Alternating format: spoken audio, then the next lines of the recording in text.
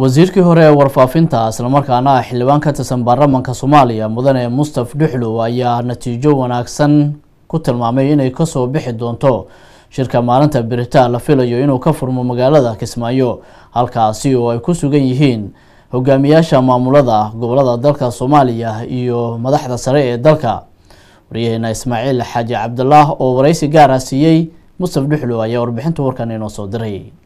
xildhibaan mustaf sheekh cali dhuxulow oo ka tirsan mudanayaasha baarlamaanka dowladda soomaaliya xilal kala duwana ka soo qabtay dowladihii kala duwanaa ee soo maray dalka ahna siyaasi u dhuundaleelo dhanka iyo arrimaha bulshada. Waraysi uu siiyey tv-ga kaalsan ayaa maanta waxa uu kaga hadlay shirka madasha wadatashiga qaran ee wejigiisii labaad lagu wado inuu ka furmo magaalada kismaayo ee xarunta gobolka jubbada hoose. Halka oo ay ku sugan yihiin wafuud ka kala socota beesha caalamka iyo maamul goboleedyada dalka sheekh cali dhuxulow ayaa hoosta ka xariiqay shirkaasi inay ka soo bixi doonaan. Qodobo waxa ku oola islamarkaana lagu xalin doono dhammaan khilaafaadka ka jira dhanka iyo doorashooyinka dalka xildhibaanada baarlamaanka in lagu soo xulo qaab deegaan amaba qaab markaas koley hadda waxaa ku sugan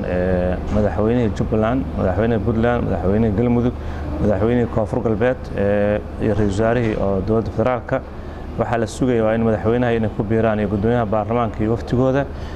kolley laba maalmoodoo la soo dhaafan kolley wada hadal waa wadeen anugu kolley ma sheegi karo waxa ka soo bixi doono. Laakiin rajo fiicanaan ka qabaa in la isku afgara doono inay ka soo baxaan wax hore loogu socon doono iyo habkii